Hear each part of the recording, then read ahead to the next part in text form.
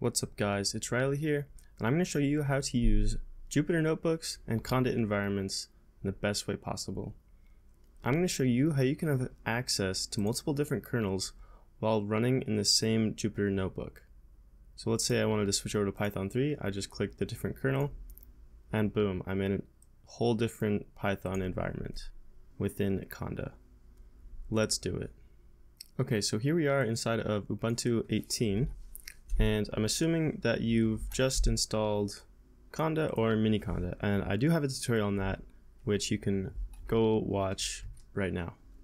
So to start off, we're going to activate our base environment. Then we're going to install two packages that are going to be necessary to pull off this trick. We're obviously going to need Jupyter, and we're going to need something called ipykernel. So go ahead and install those, and um, Conda is going to do its thing. I already have these installed, but you're going to have to type yet, hit yes or Y and then press enter to accept the installation.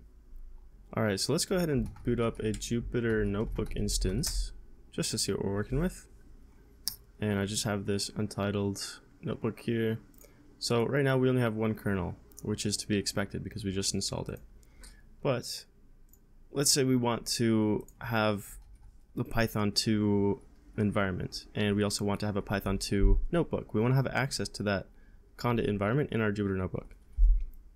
Well, let's see how we can deal about that. So Conda, first we need to create our Python 2 environment and this is how you do that with Conda. So Python, you just specify that Python equals whatever version you want. It's going to go ahead and create that environment and then we're going to do conda activate python 2 if we jump into a Python thing right here, we can see that it's Python 2.7. Okay, so now we need to create the Python, we need to create the kernel that can be accessed within Jupyter Notebook. Now we need to install uh, some package that we can do that with. That's called ipykernel. We don't need to install Jupyter because we already installed that in the base environment. We just need this ipykernel package.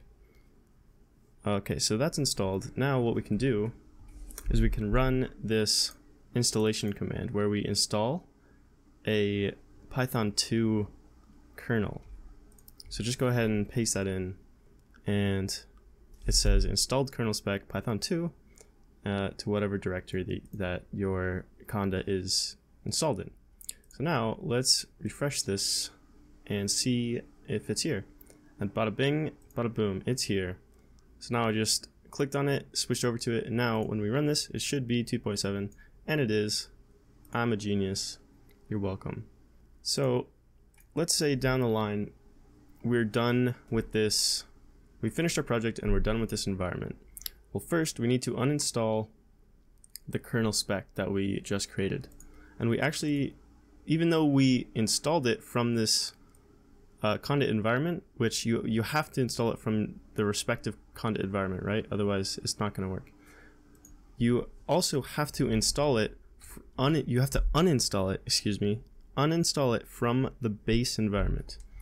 I'm not really sure why, but that's just the way it is. So we're going to conda activate base, and then we need to run um, another command to uninstall it. So we're going to run this uninstall command to uninstall well, first, let's go ahead and just list out all of our kernels right now. And just, let's say, because we might forget what it was named.